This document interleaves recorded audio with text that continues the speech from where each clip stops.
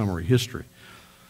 Uh, in our Bibles, it's been broken up First and Second Chronicles, and then Ezra uh, follows to, to sort of fill in and give us more information about the, the return from captivity and the rebuilding of the temple and, and the walls. So I'm going to be looking at that tonight. I want you to turn your Bibles to, to Ezra chapter 1. We're going to look at verse 3, then we're going to look at chapter 7, verse 10. These are key verses. You'll see them come up again uh, in a little while. Stand with me, if you would, as I read from uh, these two verses in the book of Ezra. This is the edict of Cyrus, king of Persia. Of course, Persia is our modern day Iran. I think there's a certain uh, interest here that they were in captivity in Babylon, which is modern day Iraq, and uh, the king of Persia conquered Babylon and then set them free.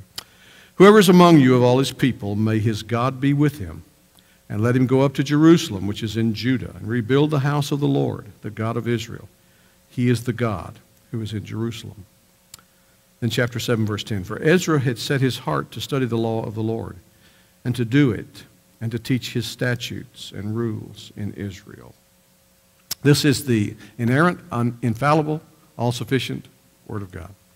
And we're going to learn some things tonight. We're going to see Jesus, the, the, the uh, the heart of Jesus in recovering and redeeming and forgiving.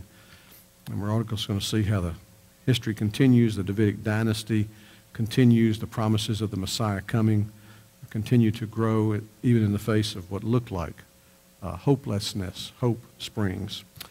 Thank you. Please be seated. Ezra, uh, this book continues the Old Testament narrative of Second Chronicles. Uh, and it shows how God fulfilled his promise to return his people to the land of promise after 70 years of, of exile. It's sometimes called the second Exodus uh, because just as they were in bondage in Egypt uh, many years before, they're now in bondage in Babylon and are going to be set free to return. It's a, it's a less impressive Exodus Millions of people left Egypt. Uh, thousands given the opportunity to come back uh, to Jerusalem. Only thousands return. There's some lessons in that as well. Ezra relates the story of, of two returns from Babylonia. The first, it's led by Zerubbabel uh, to rebuild the temple, and the second, under the leadership of Ezra to rebuild the spiritual condition of the people. So chapters 1 to 6 and chapters 7 to 10, we'll see that, see the flow of that. In between these two accounts, I don't know if you're aware of this or not, there's a period of about 60 years, 58, 60 years. And that is when Esther lives uh, and rules as queen in Persia. And so that'll, you see the flow of that chronologically. We'll kind of piece that together for you a little later. What we're going to do right now, we're going to pray and then we're going to watch the uh, Bible Project video. It's a video of, of Ezra Nehemiah, treated as one book, so we'll do like we've done in the past. When we come back to this study uh, a couple of weeks, we'll watch this again for the Nehemiah part of it. But right now we're going to watch the Bible Project video of Ezra and Nehemiah.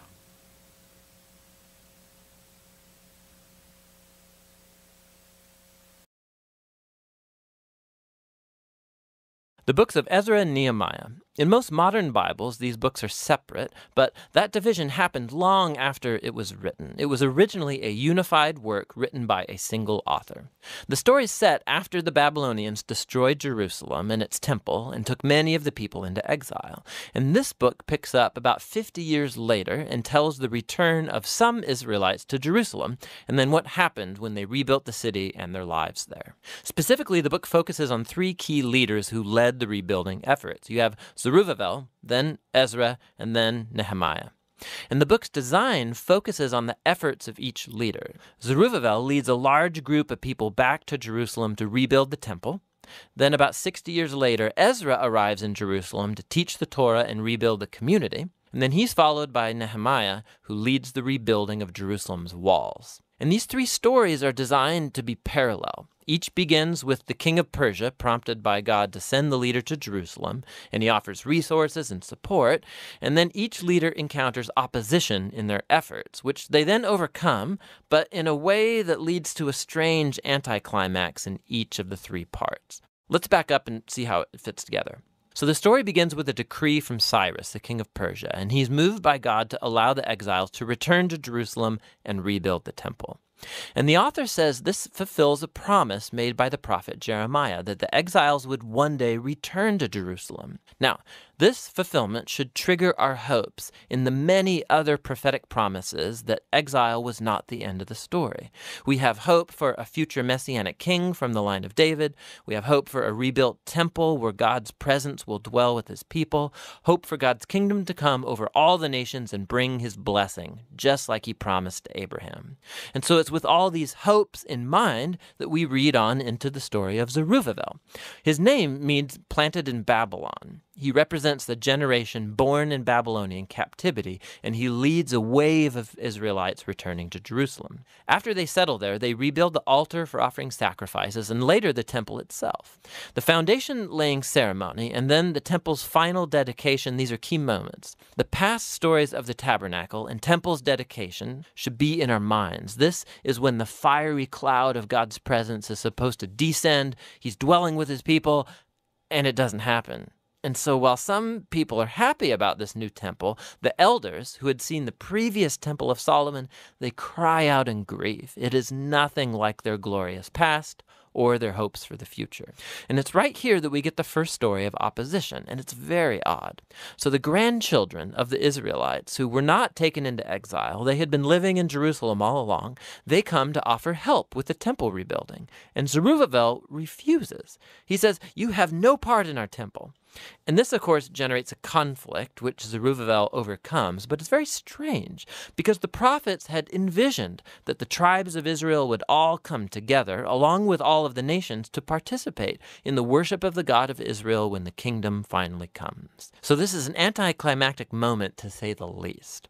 In the next section, we zoom forward about 60 years and we're introduced to Ezra. He's a leader among the exiled Israelites in Babylon. And he's a Torah scholar and a teacher. And so he gets appointed by Artaxerxes, king of Persia, to lead another wave of people back to Jerusalem. And Ezra wants to bring about spiritual and social renewal among the people. Our hopes are high. And again, we come to another anticlimactic moment in the story. Ezra learns that many of the exiled Israelites that had come back, they had married non-exiles who had been living around Jerusalem. Some of them were non-Israelites, and almost certainly some of them were. Ezra then appeals to the commands of the Torah that Israel was supposed to be holy and separate from the ancient Canaanites. And he then says that the people living around Jerusalem are like the Canaanites. They're going to corrupt the exiles. So Ezra offers a prayer of repentance, and it's very heartfelt. But then he rallies all the leaders and enacts this divorce decree that says all these marriages should be annulled, the women and children sent away. And then the decree is only partially carried out. We're given a list of some of the men who divorced their wives, the story is very strange for a number of reasons. First of all, God never commanded Ezra to do any of this. It was the leaders of Jerusalem who led Ezra to make the decree. Second, the contemporary prophet Malachi, he did say that the exiles should care about purity, but he also said that God was opposed to divorce. And so the mixed results of the decree, this all fits into this pattern of a strange concluding anticlimax. Which leads us to the next section about Nehemiah. He's an Israelite official serving in the Persian government, and when he hears about the ruined state of Jerusalem's walls, he prays and then gets permission from the Persian king Artaxerxes to go and rebuild the walls. The king even gives him an armed escort and all these resources. So after arriving in Jerusalem, he begins the building project, and he too faces opposition from the people who had already been living around Jerusalem. Once again, we face a tension in the story. The contemporary prophet Zechariah said that the new Jerusalem of God's kingdom would be a city without walls, that God's presence would surround it, that people from all nations would come and join the covenant people. But Nehemiah seems to operate with the opposite vision. He informs the people surrounding Jerusalem that they have no part in Jerusalem. And this, of course, provokes them to hostility. And so while Nehemiah carries out his vision for the city with integrity and courage. They have to build the city with armed guards to protect them. We keep wondering could this whole conflict have been handled differently? And this all leads to the conclusion of the book in two movements first positive and then negative. Ezra and Nehemiah combine forces to bring about a spiritual renewal among the people. They gather all the exiles together for a festival. They read and teach the Torah to all the people for seven days. And then they celebrate the ancient Feast of Tabernacles to remember God's faithfulness from the Exodus and the wilderness journeys. Then they offer a confession of their sins. They vow themselves to renew the covenant, follow all the commands of the Torah. And they finish with a great celebration over the temple, the walls of Jerusalem. And we're thinking, thinking this could be the turning point, but it's not. The book ends on a huge downer. Nehemiah tours around the city and he finds that the people have not been fulfilling their covenant vows. So Zerubbabel's work is undone as he finds the temple being neglected and staffed by all these unqualified people. He then discovers that Ezra's work is being compromised. He finds everyone violating the Torah, people are working on the Sabbath, and even his own work on the walls is involved because people are setting up markets around the walls of Jerusalem and working on the Sabbath. So Nehemiah, he goes on a rampage page. He's beating people up, he's pulling out their hair, and he's yelling, Obey the commands of the Torah. And his final words are a prayer that God would remember him, that at least he tried, and the book ends. I mean, it's very strange. But we've been prepared for it, right? These anticlimactic moments have been woven into the book's design intentionally. And so it raises the question what on earth does this book contribute to the storyline of the Bible? Well, remember, the book started by raising our hopes in the prophetic promises about the Messiah, the temple, the kingdom of God, and then none of it happens. So even though Israel is now back in the land, their spiritual state seems unchanged from before the exile. And while Ezra and Nehemiah, they do their best, but their political and social reforms among the people don't address the core issues of their heart. So, what the book is pointing out is the same need highlighted by the prophets Jeremiah and Ezekiel. What God's people need is a holistic transformation of their hearts if they're ever going to love and obey their God. And so the book ends on a downer, yes, but it forces you to keep reading on into the wisdom and prophetic books to find out what is God going to do to fulfill his great covenant promises. But for now, that's the book of Ezra Nehemiah. Ezra tonight, Nehemiah in a couple of weeks. The, uh, the storyline takes place with them being in Persia and being uh, set free by Cyrus, moving to Jerusalem. It's broken down into, into two, uh, two parts. The restoration of the temple takes on from chapter 1, 1 through chapter 6, verse 22. Uh, that's about a 22 year period from 538 to 516 BC.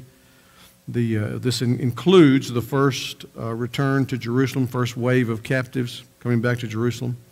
And then uh, Zerubbabel, and, and, you recognize, I hope you see his name, uh, Zerubbabel. Uh, he was planted in the land. He, he's, a, he's, a, he's indigenous to Babylon, born uh, as a Jew there in captivity. Zerubbabel, who, by the way, also is, is in the messianic line. He's in the line of David. Uh, he leads the first return, about 50,000, just shy of 50,000 uh, captives come back to Jerusalem. And then the construction of the temple is underway, chapter 3, verse 1 to chapter 6, verse 22. So, contrasted with that, the first part of the book, the restoration of the temple is the reformation of the people. Uh, it's, it's, not the, it's not the physical building, it's the spiritual building. But I've told you before, you should be familiar by now that, that for the Jews at this time in their history, um, a physical temple is critical to them recognizing or hoping that God is present with them, that their spiritual well being will be intact. So, that, this is about a one year period that, uh, that this addresses in the last part of the book. It's the second turn, return from captivity. Uh, Ezra leads the second return, and then there's this restoration of the people of God. Um, as Ezra is continuing the story, uh, from Second Chronicles, uh, showing how God, excuse me, God's promise to uh, to bring His people back to their land is fulfilled. Look at Jeremiah with me, Jeremiah 29, 10 to 14. We'll see verse 14 again later on in the study. But for thus says the Lord, this is the, this is the prophet Jeremiah speaking for the Lord. When 70 years are completed for Babylon, I will visit you. I will fulfill to you my promise and bring you back to this place. For I know the plans I have for you, declares the Lord plans for welfare, not for evil, to give you a future and a hope. Then you will call upon me and come and pray to me, and I will hear you. You will seek me and find me when you seek me with all your heart. I will be found by you, declares the Lord. And I'll restore your fortunes and gather you from all the nations and all the places where I have driven you, declares the Lord.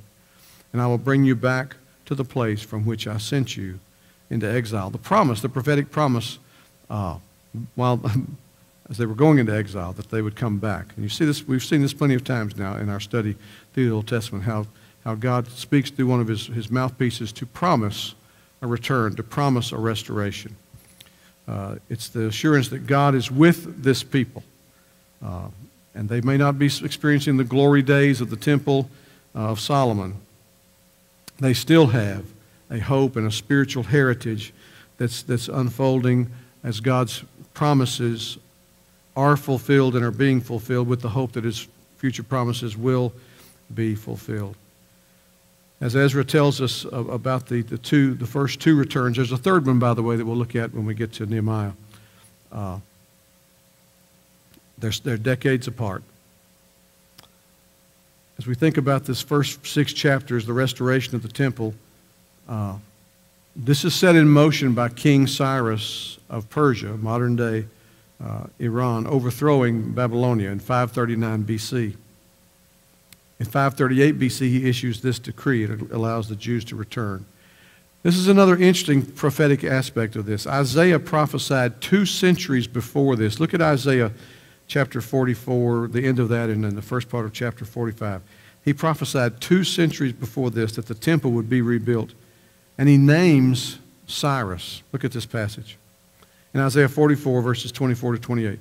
Thus says the Lord, your Redeemer, who formed you from the womb I am the Lord who made all things, who alone stretched out the heavens, who spread out the earth by myself, who frustrates the signs of liars and makes fools of diviners, who turns wise men back and makes their knowledge foolish, who confirms the word of his servant and fulfills the counsel of his messengers, who says of Jerusalem, She shall be inhabited, and of the cities of Judah, they shall be built, and I will raise up their ruins, who says to the deep, Be dry, I will dry up your rivers, who says of Cyrus, he is my shepherd, and he shall fulfill all my purpose.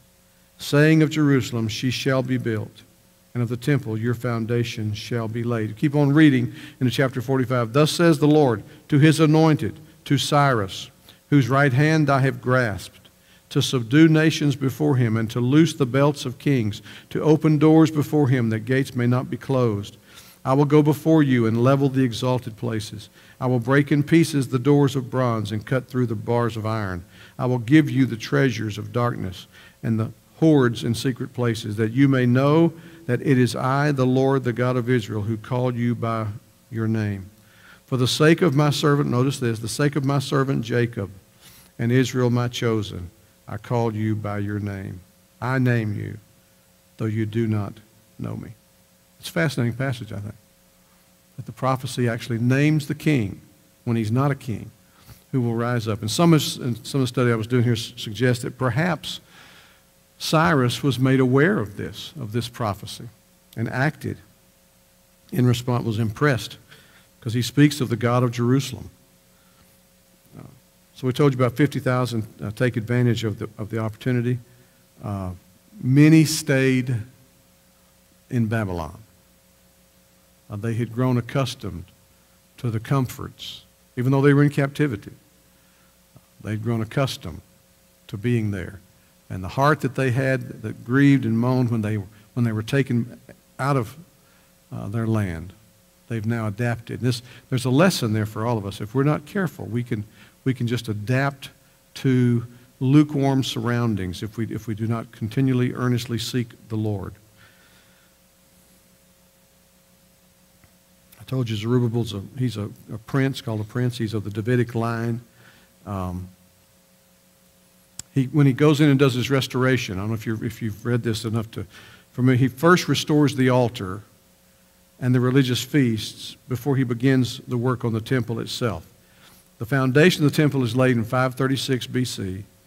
Then opposition arises, uh, and this, this shows up uh, in chapter 4, verses 6 to 23. The work ceases for about 14 years, from 534 to 520, uh, because, and, and, of course, our, our, video showed us that, that Zerubbabel sort of brought the, brought the opposition on himself. It's a, it's a fascinating thing you see at, at this stage in Israel's history. They are on the receiving end of amazing blessings of God, being, being allowed to return from captivity. But you see that they're becoming more and more of a nationalist people. They're not at all looking uh, to advance the name of God so that the, the nations may worship him. And you, this bigotry comes out even in, these, in the leader like Zerubbabel and then, and then like Ezra. Uh, and so it's a, real, it's a real mixed response to God's goodness. And again, I think we need to be careful with it. That on the, being on the receiving end of God's blessings, that we do not become a closed-minded people reaching out to those who are, who are different, who are not like us. And I think it's a huge, a huge uh, flaw in Zerubbabel and, as we'll see, in, uh, in Ezra. The prophets at this same time, we look at chapter 5, verse 1 and 2, the prophets Haggai and Zechariah exhort the people to get back to building the temple. And so the work begins again under Zerubbabel. And there's this Joshua the high priest who, who comes on the scene. Then there's a, a, a Persian governor, Tattenai. Uh, and he protests to the king, to King Darius the first, about the temple building. And uh, he challenges the, the propriety of this continuing. And it doesn't go well for him. King Darius uh, finds the decree of Cyrus, confirms it, and then turns around and forces Tattenai to provide whatever is needed to complete the work. It's finished in 515 BC, so Tattenai ends up having to bring personal uh, financial support to this work uh, for his outcry. That's, that's the first part of, of, uh, of, of Ezra. Second part of it, this reformation of the people, chapter 7 to 10 uh, under, uh, under Ezra, uh, a smaller contingency. I don't know if I, if I mentioned this or not earlier. Let me go back to that. Uh, under Ezra, only about 1,750 return. And there's not a lot of uh, Levites. That's, a, that's an interesting thing. Uh, many priests, this is, this is going to be the spiritual emphasis of restoring worship of God. And Ezra is described as, a, as an expert in the Torah, the expert in the law, to teach the law. And there's a, in, in chapter 2, verses 36 to 42, uh, you see this, this uh, information about the priests uh, that come back. And uh, I want to, let me read to you uh, Ezra 8, 15 to 19. Excuse me. I gathered them to the river that runs in Ahava, and there we camped three days. As I reviewed the people and the priest, I found there none of the sons of Levi. Then I sent for Eleazar, Ariel, Shemaiah, Elnathan, Jarib, Elnathan, Nathan, uh, Zechariah, and Meshullam, leading men, and for Joiarib and Elnathan, who were men of insight, and sent them to Iddo, the leading man at the place in Casiphia, telling them what to say to Iddo and his brothers and the temple servants at the place Casiphia, namely to send us ministers for the house of our God. By the good hand of our God on us, they brought us a man of discretion of the sons of Mahli, the son of Levi, son of Israel, named Sherebiah, with his sons and kinsmen, about 18. Also Hashabiah, and with him Jeshaiah of the sons of Merari, with his kinsmen and their sons, 20. And so this so it just gives you kind of how there was a paltry response uh, for folks coming back to work on the spiritual uh, side of this, of this return. God does use Ezra to rebuild the people spiritually and morally. Um, when he discovers about the intermarriage, uh, again, there's, a, there's, sort of a, a, pressure point of how he handles it. Uh, identifies the sin of the people. He offers uh, repentance and a great intercessory prayer. And then uh, begins to separate the families out. And it's a very painful thing and, and somewhat questionable in terms of if this is the way, because Malachi does say, As I live, says the Lord, I hate divorce. And so you have yourself in a real moral tension uh, at this point. As I said earlier, uh, in the years between Ezra 6 and Ezra 7, this first part of the book and the second part, there's a space of about 58 years, and that is when, that is when Esther uh, is, is raised up uh, as, uh, as queen of Persia. Let me touch real briefly on the, on the title and the, and the authorship. Um, it has different, different names. Of course, we looked at different, different backgrounds. It's an Aramaic form of the Hebrew word azer, uh, which means help. And so it could be that the, his name uh, speaks of Jehovah helps. Jehovah is my help. Um, you were told in the video they were originally bound together, Ezra and Nehemiah, as one, as one book, uh, just like Chronicles, and they're just viewed as one continuous history. Uh, the, se- the separation is somewhat artificial. It's something that, that those who developed the canon of scriptures have done through the years. it's an interesting thing if you're familiar with uh, the apocryphal books. The Apocrypha is a, is a group of books. You'll find them in the, uh, in the Douay version of the, of the Catholic Bible. They're books of religious uh, information around the period of, of the Old Testament, um, but they're not considered authentic or canonical, inspired by the Lord. Uh, but there's this, uh, at, at, one point, the Greek language version of the Old Testament uh, called Ezra and Nehemiah Esdras Deuteron, in other words, second Esdras, and Esdras is one of the uh, it's in one of the apocryphal books. First Esdras, Esdras is apocryphal book. Uh, the Latin title of it is, is Liber Primus, or the first book of Ezra. Uh, and then Nehemiah in the Latin Bible is called Second Ezra. Just, just some interesting tidbits for you. Ezra, we believe, is the author of this. Um, a lot of Jewish tradition, ex- external witness says that there's a portion of the, uh, we read a portion of 728 through 915 is written in first person. It's Ezra speaking. And so he seems the likely one. And the, and the vividness of the detail that, that you go into here uh, almost insists that it was an eyewitness to, uh, to these, these later events. Uh, Ezra, the, the, the book has a distinctive priestly flavor about it. And Ezra, we know, uh, had that background, as I said, was an expert. Uh, he's a descendant, by the way. If you trace his genealogy, which pops up in different places, he's a descendant of Aaron, of the Aaronic priesthood studied and practiced and taught the law of the Lord. He's an educated scribe. Um, we're told in another apocryphal book, Second Maccabees, that he had access to the library of written documents gathered by Nehemiah.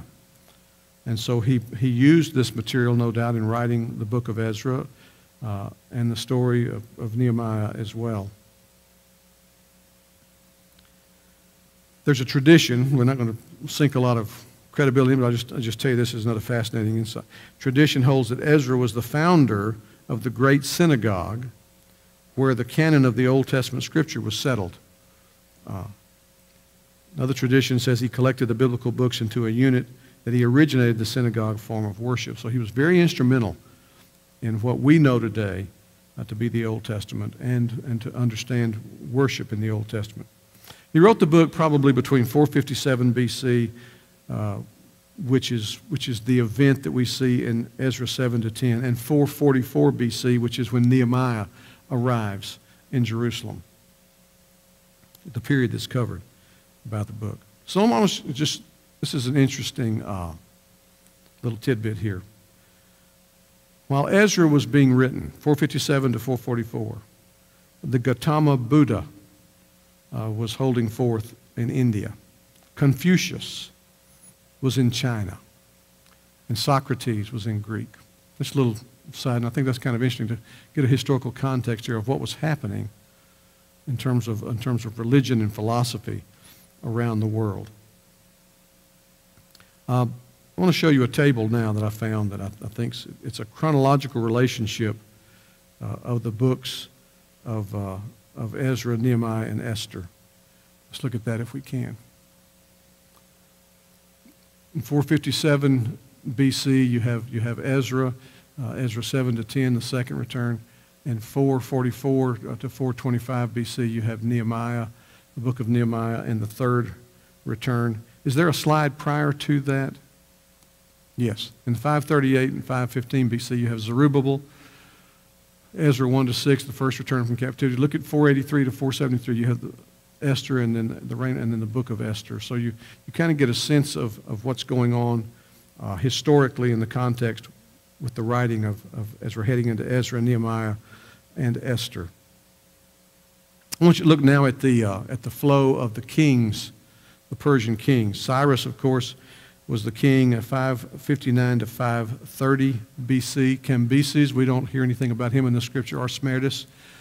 Darius first occurs 521 to 486 BC, and then Ahasuerus 486 to 464. Artaxerxes the first 464 to 423, and then Darius the second 423 to 404. Now, when you when you move this far in, you're getting you're getting into moving into the years of silence, the 400 years of silence, where there's no prophetic voice. But it just shows you kind of kind of where the Persian kings fit and how God used them. It's fascinating uh, the text we read earlier that he's, uh, he, he's my hand, he's my shepherd. Uh, how God took him up uh, to make use of him. Let's see. About the theme and the purpose. The, the basic theme of Ezra is a, uh, a spiritual, moral, and social restoration of the remnant. If, you if you've read through the Old Testament, if you've had people teaching Old Testament uh, synopsis through the years, you're probably familiar somewhat with the doctrine of the remnants, what it called. There's, there's always been a remnant. No matter how dark it's gotten in Israel's history, no matter how dark it's gotten in early church history, God has always had a remnant. His, it, it, it, there has been times in church history prior to the Reformation when it looked like gospel Christianity had all but disappeared. But God's always had a remnant, and, uh, and, and it crops up in different ways, shapes, and forms. Well, there is this, in, in Ezra, we see this remnant because not, there was a whole lot more than 50,000 captives that were taken into captivity, and only a little over 50,000 return. Uh, Israel's worship is revitalized. Uh, the people undergo a, a uh, ceremonial uh, cleansing. Uh, God's faithfulness is seen in that He sovereignly protects His people uh, by a powerful emperor. Think about this. They were hauled off into captivity, and yet God sovereignly over, oversaw the Babylonian captivity so that at just the right time, he was ready to bring a remnant back. he oversaw the Persian Empire. So at just the right time, he raised up a king that, that crushed the Babylonians and then set the people of God free. So you see the sovereign ruling and overruling and intervening of God. There's, there's no other way to explain these events except the sovereignty of God. And, uh, and he shows his care for his people. There's a, there's a section where, uh, where when they come back, they, are, they, are, they take a lot of valuables and they are guarded by a, a Persian armed guard. There's no other way. Think about how different this is. In the, in the wilderness wandering coming out of the Exodus, I mean, they, they were a mass of people, but they, uh, they were, they were in their kindergarten stages of socialism in terms of being a society. They didn't know how to function with one another. Here, there's an armed escort that carries these captives and, and the valuable tools that they take with them, the valuable belongings they take with them, the things to build, to rebuild the temple, escorts them all the way back to Jerusalem. It's, it's a fascinating study in God's sovereign ruling and overruling and his sovereign providence. Uh, he provides them with leadership. Ezra has been, has been in captivity, has been poring over the law. He's an expert in the law.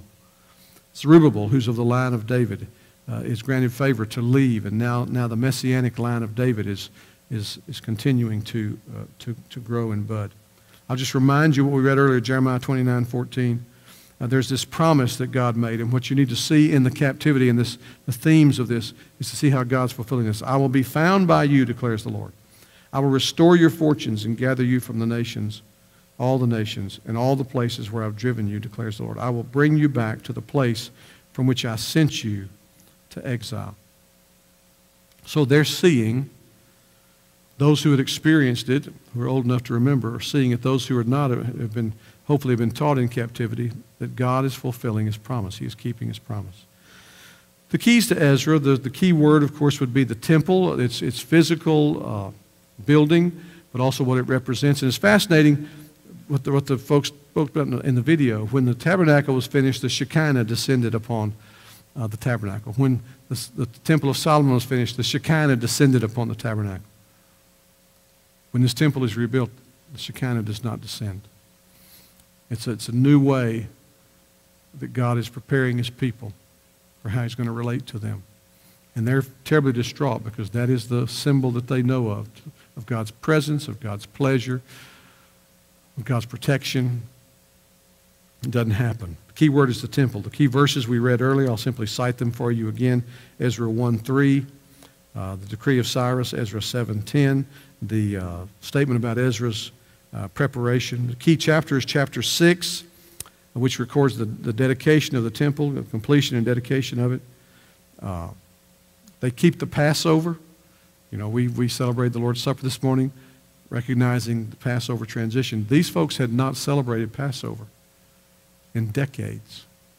It had to be a, had to be a moving moment. Think about, put yourself there. For those who had not celebrated the Passover for so long. And then for those who were born in captivity and are there to, to experience the Passover.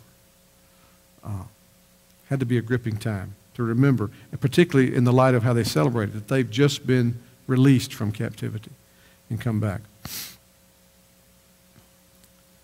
What about Christ? Where do we see Jesus in Ezra?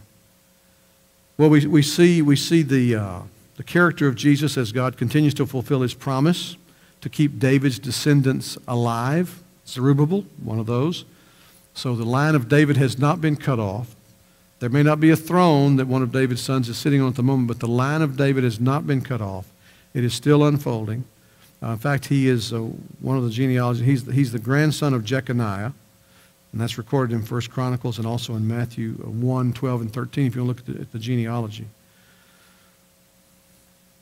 this note of hope because the remnant has returned to the land of promise.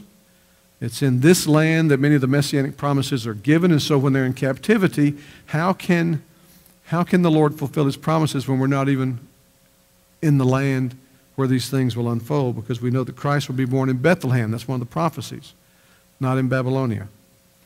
Uh, but the book of Ezra as a whole typifies Christ's work of forgiveness and restoration. And even though the story doesn't go the way we'd like for it to go, and the people, uh, finally, when all is said and done, you move through Ezra and Nehemiah, you haven't seen that much of a, of a spiritual change in them. God is still faithful. He's working. He has, his, he has his people. He's still working at his promises. He's moving toward the conclusion that he has promised. Ezra, by the way, in terms of his contribution to the whole, uh, to the Bible, it fills in the history of these first two returns from Babylonian captivity. Uh, the book of Nehemiah, as I said, will cover the third. It, it forcefully emphasizes the power of the Word of God and the crucial need to obey it at every level of life. And that's how I want us, I want us to close out tonight looking at these passages of Scripture that are found in Ezra. And just notice the role of the Word of God, the role of the law. Let's read through these together. Ezra 1 1. Do you have, do you have that? There we go. In the, in the first year of Cyrus, king of Persia, that the word of the Lord by the mouth of Jeremiah might be fulfilled, the Lord stirred up the spirit of Cyrus, king of Persia, so that he made a proclamation throughout all his kingdom and also put it into writing. Of course, we read the proclamation earlier.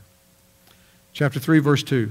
Then arose Jeshua, the son of Jozadak, Jozadak with his fellow priests, and Zerubbabel, the son of Shealtiel, with his kinsmen, and they built the altar of the God of Israel to offer burnt offerings on it as it is written in the law of Moses, the man of God.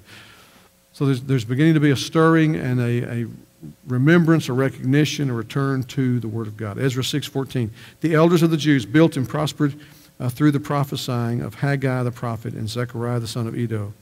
They finished their building by decree of, of the God of Israel and by decree of Cyrus and Darius and Artaxerxes Artaxerxes, king of Persia. So they recognized that, that God used these, these human instruments who made decrees to enable them, but it's God who is moving. Chapter 6, verse 18.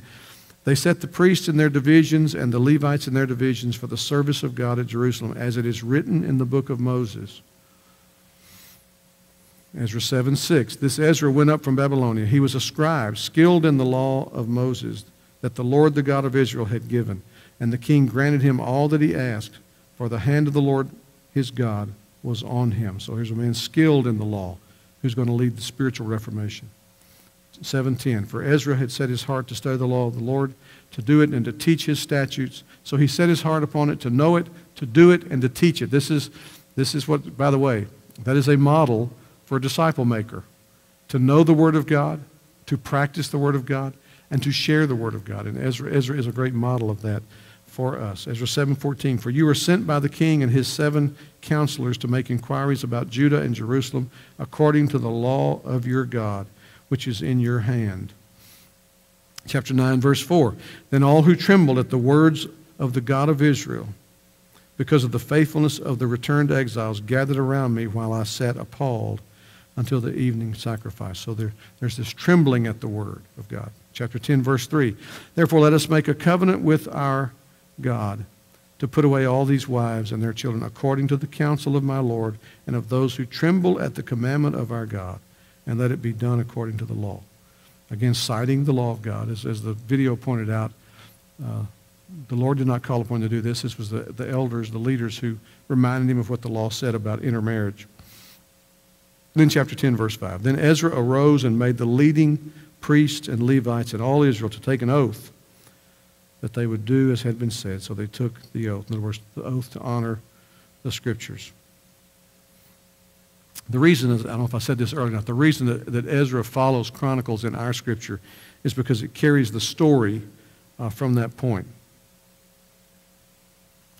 Uh, even though in the Hebrew Bible it, it precedes the Chronicles. The Chronicles, it's, it's uh, Ezra and Nehemiah is the book just prior to the Chronicles, which is the last book of the Hebrew Bible. So that's, that's a sketch, an overview sketch of Ezra. Any questions or comments or observations?